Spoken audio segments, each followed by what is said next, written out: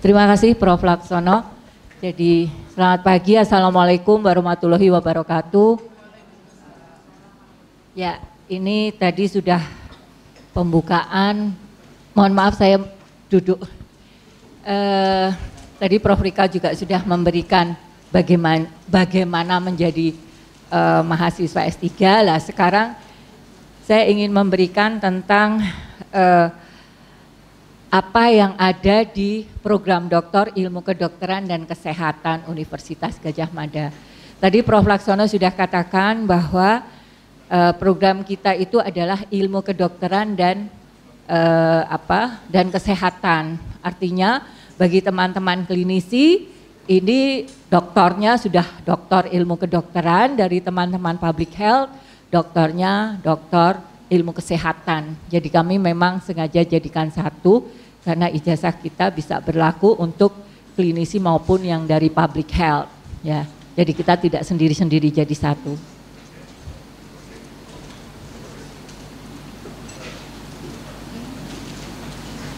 Ya.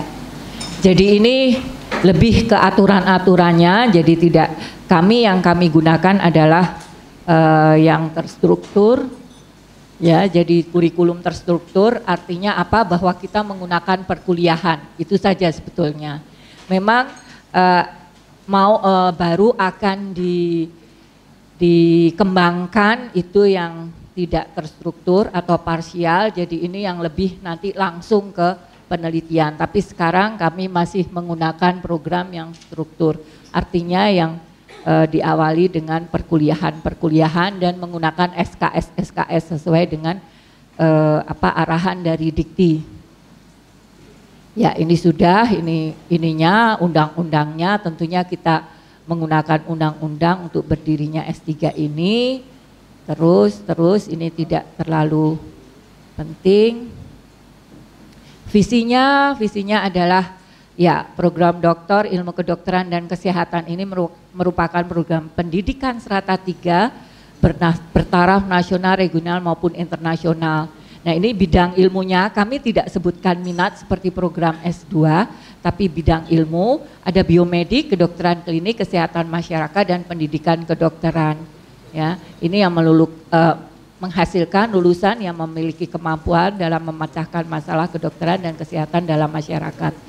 Sampai sekarang kami mempunyai tiga orang mahasiswa asing, uh, tapi programnya tetap reguler.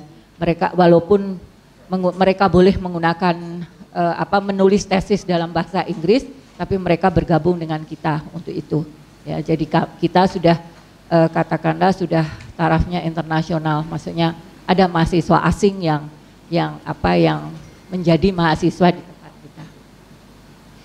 Kemudian ini adalah misinya, misinya ya sama hampir sama dengan uh, apa misi-misi di perguruan tinggi selalu yang bagus ya. Artinya apa? menyelenggarakan pendidikan serata tiga dalam bidang ilmu kedokteran dan kesehatan ya, menghasilkan lulusan berderajat doktor dalam bidangnya sama ilmu biomedik, kedokteran klinik, kesehatan masyarakat dan pendidikan kedokteran dan mampu mengantisipasi setiap perkembangan ilmu dan teknologi mutakhir baik di tingkat nasional, regional maupun internasional. Sama. Terus kemudian tujuan sasarannya juga lulusannya ini diharapkan ya e, berkiprah ya di tingkat nasional, regional maupun internasional. Nah, ini tujuan Tujuannya ini kami sama dengan e, apa Rensra yang ada di UGM tentunya jadi menghasilkan lulusan berkualitas eh, eh berkualifikasi, berjiwa Pancasila, memiliki integritas ilmiah dan panjang sekali itu mirip sekali dengan dengan yang ada di uh, Rensra tujuan UGM dan kedokteran.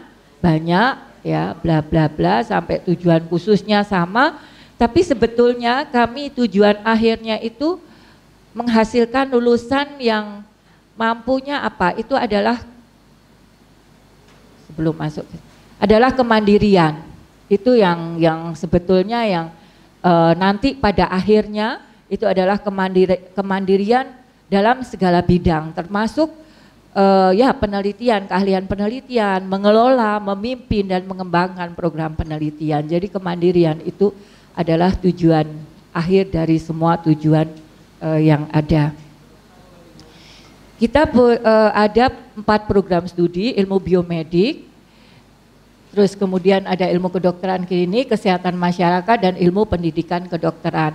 Namun demikian, setelah ada klaster-klaster, tiga bidang ini itu uh, bisa menjadi suatu uh, apa interaksi masing-masing. Contoh misalnya teman-teman dari ilmu kesehatan masyarakat misalnya, misalnya teman-teman dari lingkungan itu bisa menelitinya ada bio, bidang klinik boleh dia murni kedokteran klinik tidak masalah. Tapi misalnya seorang klinisi misalnya akan ingin mengembangkan suatu biomarker itu tidak lepas dari bidang ilmu biomedik atau misalnya kedokteran klinik ingin meneliti uh, apa genetik misalnya tidak lepas dari bidang ilmu biomedik. Demikian pula uh, pendidikan kedokteran. Jadi saling saling uh, apa berinteraksi.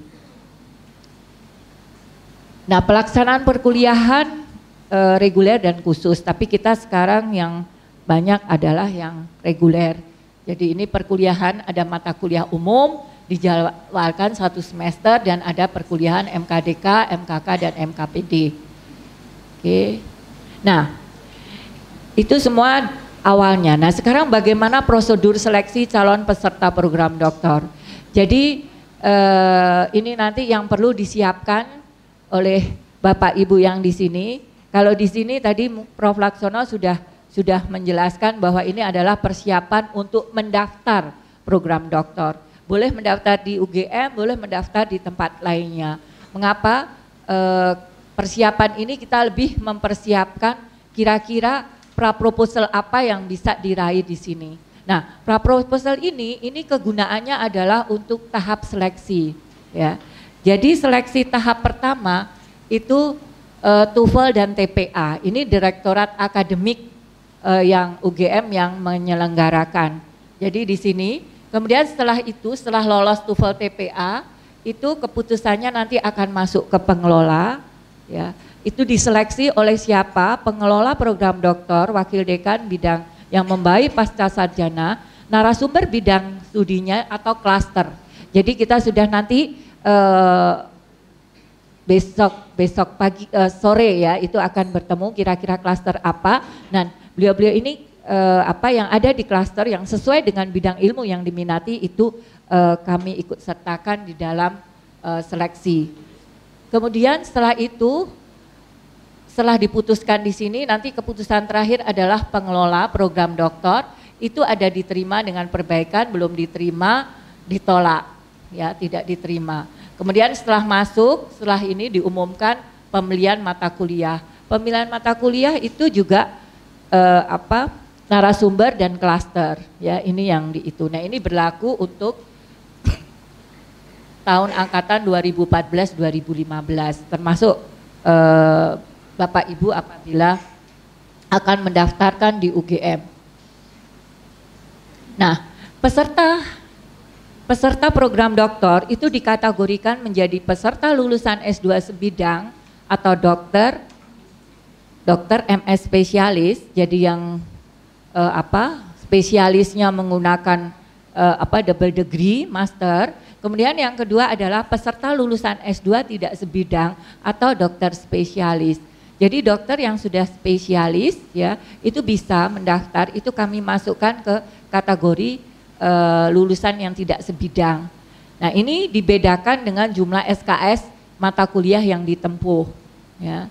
Jadi mata kuliah yang ditempuh untuk yang S2 tidak sebidang atau yang dokter spesialis itu lebih banyak dibanding yang lulusan S2 sebidang atau dokter MS spesialis. Nah ini contohnya lagi yang S2 tidak sebidang, teman-teman mungkin dari pendidikan kedokteran ya. Kalau zaman sekarang sudah banyak sekali S2 yang S2 pendidikan kedokteran, tapi yang belum misalnya masternya bukan bidang itu, itu nanti ada e, semacam matrikulasinya. Jadi jumlah SKS-nya lebih panjang untuk itu.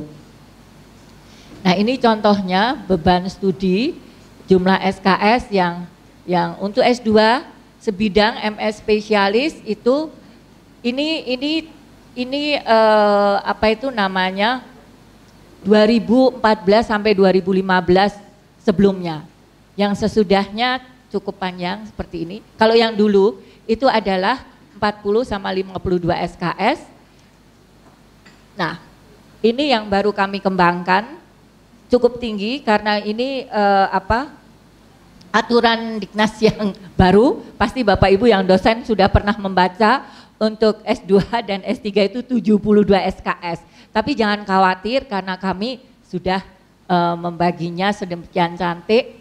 Ya, ini SKS-nya. Nah, ini dia. Jadi tampaknya sama dengan seperti yang lalu ya, tapi hanya ujian komprehensif itu kami hitung 4 SKS yang dulu tidak kami SKS kan Terus kemudian seminar hasil penelitian 6 SKS, publikasi internasional 22 SKS. Jadi totalnya kalau uh, kita lihat 72 SKS. Jadi uh, apa?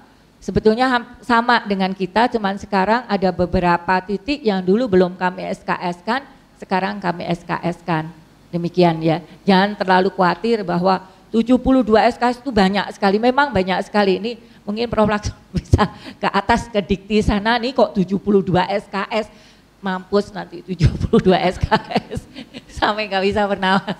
Bayangkan banyak sekali, tapi tetap kami siasati uh, supaya tidak uh, apa itu namanya ter ter apa ya ter itu arus, maksudnya tidak hilang dari uh, karena arus itu kami hitung. Jadi ujian komprehensif dulu tidak pakai SKS, sekarang kami beri SKS. Jadi nanti hitungan eh, IPK-nya itu apa tanpa Oke. Jadi jangan khawatir ya 72 SKS. Nah, ini ini adalah mata kuliah-mata kuliah yang harus ditempuh. Mata kuliah umum ini wajib ditempuh oleh seluruh mahasiswa di sini ada filsafat ilmu, etika penelitian dan sebagainya, ada metodologi penelitian, biostatika. Kemudian eh, di UGM itu disyaratkan mukim selama satu semester. Jadi selama satu semester itu eh, diwajibkan eh, ada di kampus UGM. Ya, itu aturan dari UGM. Kemudian mata kuliah dasar keahlian ini bisa diambil dari beberapa program studi yang ad, S2 yang ada di lingkungan FKUGM ya. Jadi boleh saja misalnya uh, Bapak Ibu uh, apa sit in atau ikut uh, kuliah di S2 tapi tentunya dengan uh, apa itu mendaftar dahulu. Ya, ini sudah dilakukan. Ya, sudah dilakukan terutama untuk mata kuliah dasar keahlian. Kemudian untuk mata kuliah penunjang disertasi, mata kuliah penunjang disertasi ini sifatnya sangat individual, sangat tergantung dari eh, apa itu judul dari topik yang Bapak Ibu ambil. Nah ini sesuai kebutuhan. Ini ditentukan oleh calon pembimbing narasumber dari klaster masing-masing. Jadi nanti klaster dia punya e, mereka dari klaster itu mempunyai daftar mata kuliah mata kuliah e, beserta uh, perlengkapannya, jadwalnya dan dosennya itu uh, bisa diambil dari kelas terse tersebut. Dan ini persetujuan dan kesedi kesediaan dari dosen pengampu. Jadi bisa yang mengajar adalah tim ya. Dan ini pemilihan pemilihannya ini oleh siapa? Oleh yang bersangkutan, kemudian dengan narasumber atau calon pembimbing, kemudian dengan uh, apa tim klaster ya. Ini bawahnya nggak kelihatan ya. Jadi jadi tergantung kita. Kami tidak kami pengelola tidak ini harus ikut ini ini. Tergantung dari kebutuhan kita pingin uh, apa yang kurang apa. Kadang-kadang calon pembimbing atau narasumber mengatakan oh ini uh, apa untuk untuk memperkuat disertasi coba kamu ambil apa saudara ambil bidang ilmu ini gitu kan? Mata kuliah ini bisa. Misalnya kalau uh, ada perkuliahan bila sit, boleh sit in di situ atau mengadakan sendiri ya. Tapi dengan dosen uh, apa dosennya bersedia untuk memberikan. Misalnya uh, narasumber tidak tahu siapa dosen itu nanti kami pengelola yang akan mencarikan uh, apa itu namanya narasumber atau dosen yang ada di sana. Nah, ini adalah proses pelaksanaan program cukup panjang ya. Jadi eh, Bapak Ibu kalau betul-betul sudah ingin masuk ke program doktor, artinya komitmennya sudah ya saya memutuskan untuk mengambil program doktor. Karena program doktor itu tidak eh, apa program yang yang apa yang ikut ikut al, alur saja, aliran saja tidak. Tidak seperti seperti S1 eh sejak SMP, SMA itu kan ikut kita kan. Program dokter sama sekali tidak. Ini sangat sekali tergantung dari Bapak Ibu sendiri. Kalau misalnya komitmennya, oke okay, saya mau masuk program dokter. Artinya sudah yang diperhitungkan artinya sudah dengan Eh, kesukaran-kesukaran, kemudahan-kemudahan yang akan kita lakukan, termasuk juga biaya. Ya. Namun jangan khawatir, karena biaya itu sebetulnya banyak di mana-mana. Tergantung kita saja uh, apa mencari peluang-peluang tersebut. Ya, itu. Nomor satu adalah komitmen, komitmen diri sendiri. Mungkin tadi Prof Rika sudah, mungkin nanti uh, apa uh, Prof Laksona akan menjelaskan lebih dalam. Tapi yang pertama itulah ada uh, komitmen. Mengapa? Karena proses pro, proses pelaksanaan program doktor itu sangat panjang. Ya. Awal pendaftaran dulu. Ya. Di pendaftaran ini sudah sudah uh, mungkin kalau saat kita S1 itu mungkin tidak terlalu sulit karena kan rame-rame dengan teman-teman kita. Prosesnya pendaftaran sama dengan S1 atau S2 online. Ya. Nah ini mudah-mudahan ini saya lihat masih muda-muda, jadi tidak ada yang gaptek, tidak. Maksudnya karena ini semua kita menggunakan uh, apa itu namanya online, pakai IT, membayar pun juga juga host to host. Maksudnya itu eh, kadang-kadang uh, kalau salah kita mem, me, me, atau salah kita me, mengisi kolom itu nanti gagal semua. Bisa jadi pernah kejadian salah menekan uh, ini tombol atau salah menekan itu harus membayar ulang lagi karena ininya terlanjur sudah masuk ya. Nah, itu terjadi.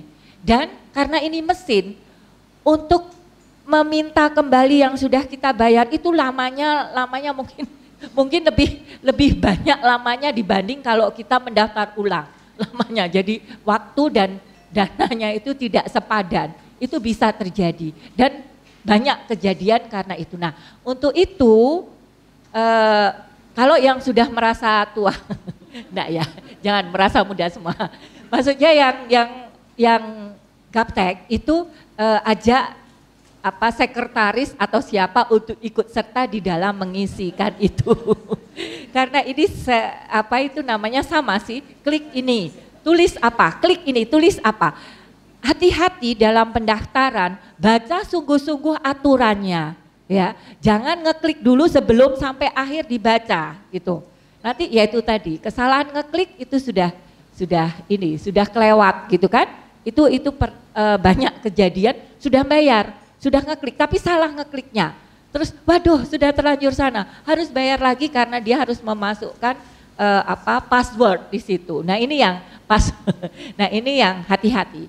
Pendaftaran pun sudah cukup sulit. Makanya komitmennya itu harus tidak harus pantang putus asa. Ya, nanti sampai akhir itu pantang putus asa, tidak boleh putus asa, ya itu. Kemudian nanti seleksi. Seleksi eh, sedikit kami beri bayangan tahun lalu eh, 2014-2015 angkatan itu yang mendaftar uh, sekitar 130-an. Tapi yang kami terima yang memenuhi syarat dan kami terima sekitar 40. Jadi cukup banyak sekali persaingannya ya. Nah, di sini eh, persiapannya adalah pertama adalah TOEFL TPA. Itu tidak boleh lepas. Universitas menghendaki 500 dan 550 untuk TPA-nya. Artinya eh, apa? Seleksi pertama itu sudah di UGM. Kemudian seleksi kedua, lah ini. Seleksi kedua ini adalah hari ini. Hari ini uh, Bapak Ibu membuat pra proposal. Nanti pada akhir uh, apa namanya persiapan ini Ibu sudah ada pra proposal. Ini yang seleksi tahap dua. nanti akan dibaca, kami juga akan undang narasumber dan teman-teman dari klaster dan yang memberi uh, apa rekomendasi untuk membicarakan ini. Tapi jangan khawatir, jangan khawatir apa bisa saja judul yang diajukan itu ganti. Ya, yang ini yang dinilai adalah scientific meritnya atau kemampuan berpikir ilmiah itu yang dinilai ya itu. Dan ini yang yang uh, apa pokoknya ngedong wae ngono lho. Lek gawe aja ngalor ngidul. Itu yang yang ini. Ini sudah uh, apa komitmen. Kemudian pendaftaran ulang. Pendaftaran ulang ini juga uh, apa sedikit rumit tapi jangan khawatir tadi maksudnya rumit tapi bisa juga lolos Nah, misalnya Bapak Ibu yang sudah uh, diterima, tapi kemudian ingin mundur karena misalnya beasiswanya datangnya setelah eh, akan tahun depan, itu segera memberitahu kami. Ya. Penundaan boleh, tapi segera. Kalau sudah terlanjur uh, apa habis masa uh, pendaftaran ulangnya, itu tidak bisa lagi dibalik. Artinya bisa masuk, tapi ibu kehilangan waktu atau bapak ibu kehilangan waktu uh, dua semester ya karena kan kalau masuk tahun berikutnya adalah semester berikutnya. Jadi rugi dua semester. Tapi memberitahu kami, kami akan minta ke UGM untuk penundaan e, masuk. Kemudian setelah itu adalah perkuliahan dan pembimbingan. Ya, perkuliahan itu memang di awal e, mata kuliah umum. Ya, ini rasanya kesannya itu sangat ringan karena kita hanya mendapatkan tiga mata kuliah 6 SKS dan mata kuliah itu mungkin sudah Bapak Ibu lakukan saat mahasiswa S2 ya. Nah, untuk itu kesempatan ini bertemulah dengan narasumber ini semester sejak semester awal itu kami sudah memberikan narasumber dari klaster masing-masing. Proaktif itu yang paling penting ya. Itu datangi selalu minta ke itunya ke dosennya kapan bisa ketemu atau ke klasternya ya. Nanti fasilitas akan kami fasilitasi untuk bertemu dengan narasumber tersebut ya. Ini ini pun juga penuh dengan perjuangan. Setelah itu, setelah perkuliahan dan pembimbingan itu nanti ada ujian komprehensif. Setelah perkuliahan dan seterusnya. Nah, ini ujian komprehensif ini hanya boleh dua kali.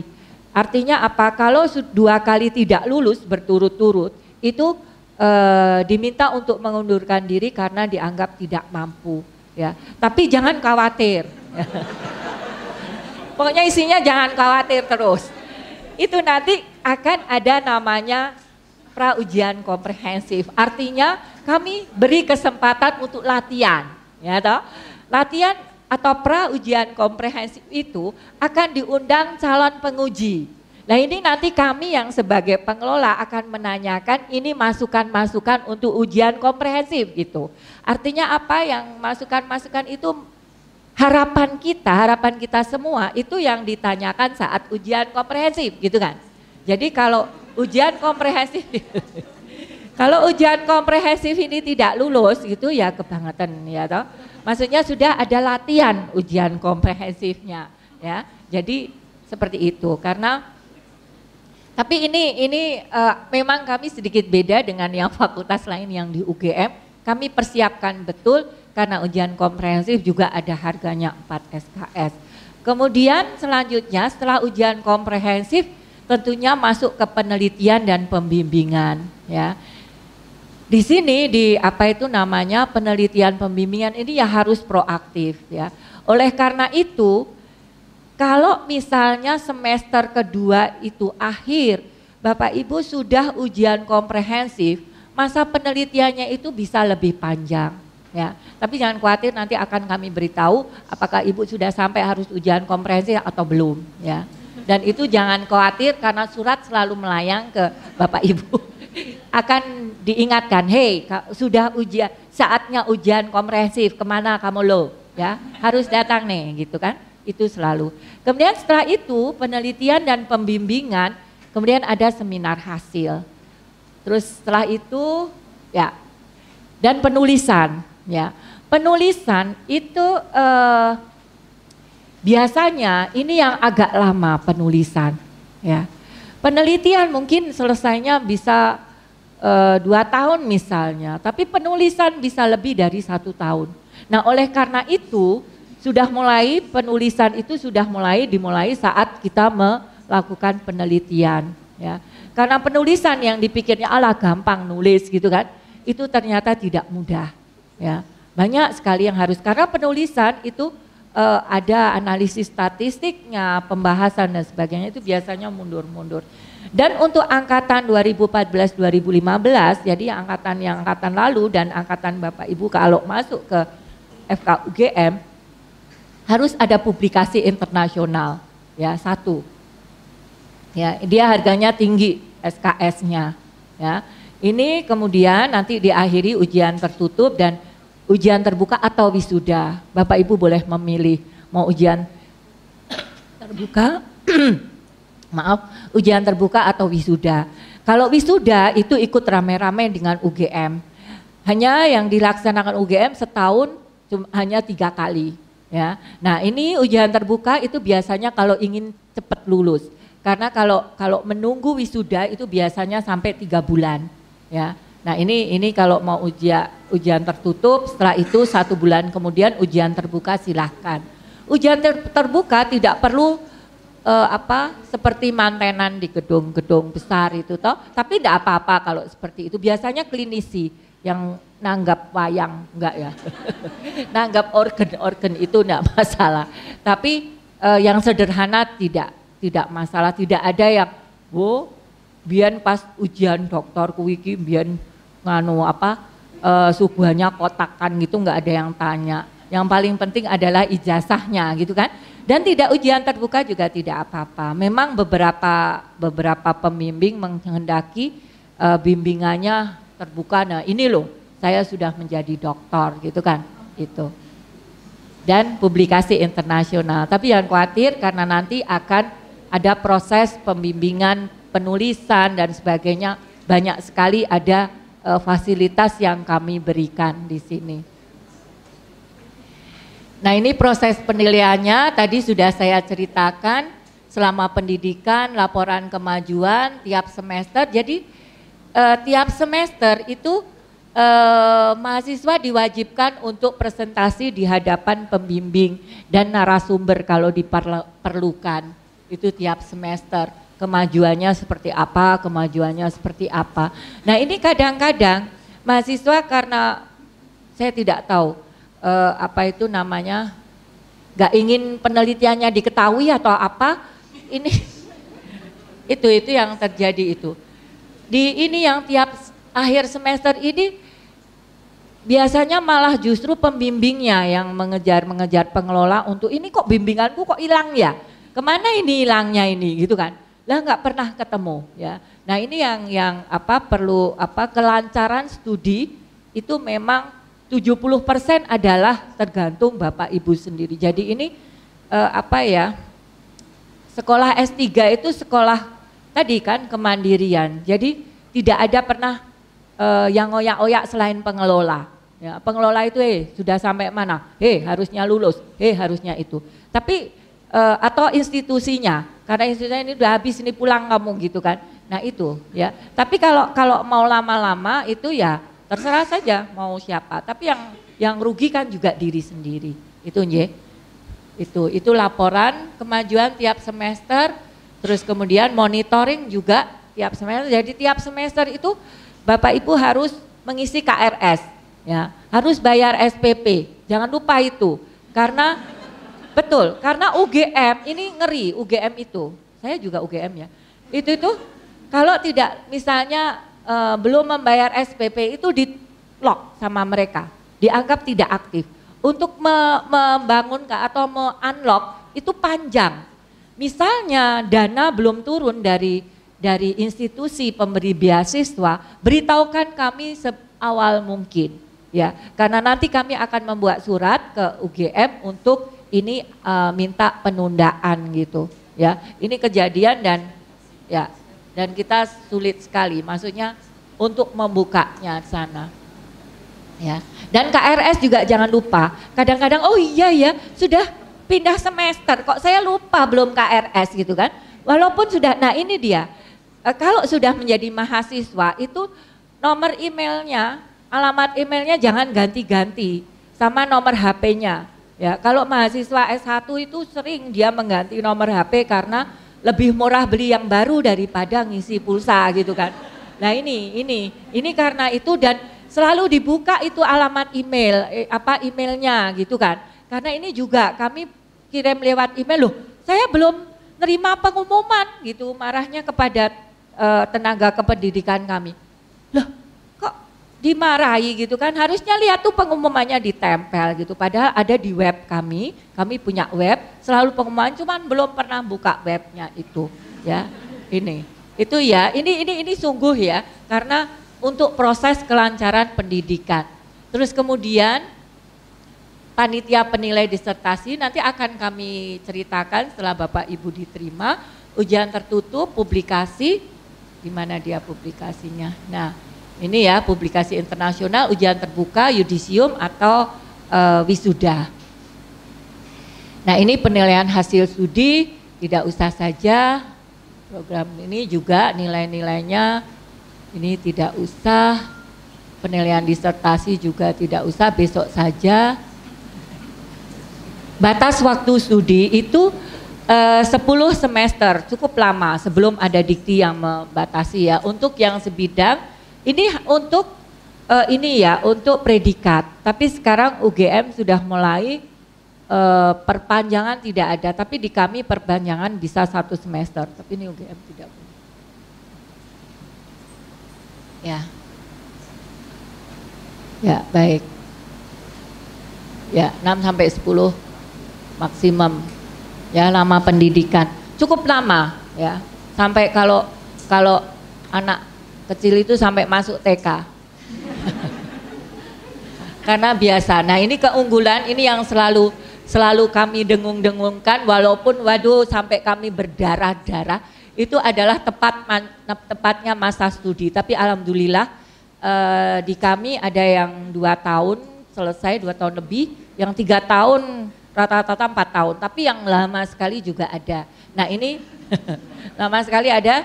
Cuman tahun ini sampai bulan uh, apa Juni ini kalau yang tadi yang lama tadi lebih dari eh, uh, 10 semester itu diminta untuk mengundurkan diri. Ini ada beberapa yang terancam untuk diminta untuk mengundur tidak DO cuman diminta untuk mengundurkan diri.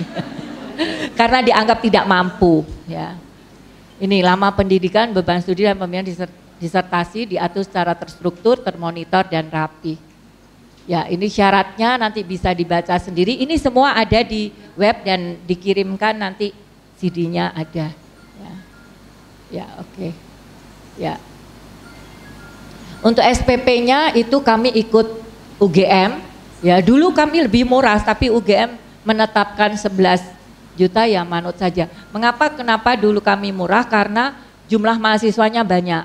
Ya, tapi ini karena SPP tarif tunggal kita gunakan 11 juta, biaya pendaftaran 750 ribu, biaya belum termasuk biaya penelitian, biaya hidup dan lain-lain. Tapi jangan khawatir, biaya penelitian itu ada beberapa dosen yang mempunyai proyek ya, nanti sudah ada daftarnya, Bapak Ibu bisa ikut proyek tersebut ya untuk biaya penelitian. Nanti Prof Laksono bisa mengumumkan uh, beberapa proyek me yang memerlukan uh, apa mahasiswa doktor. Jadi kita mulai seperti di luar negeri, jadi kalau di sana kita kan nggak bisa milih topik, kita kan ikutnya topik profesornya. Nah itu tapi ini keberuntungannya biaya penelitiannya kita gratis bahkan malah justru kita dibayar dari proyek tersebut. Tapi memang kita tidak bisa memilih proyek tersebut, eh, apa judulnya, ya itu. Saya kira demikian. Eh, ada pertanyaan?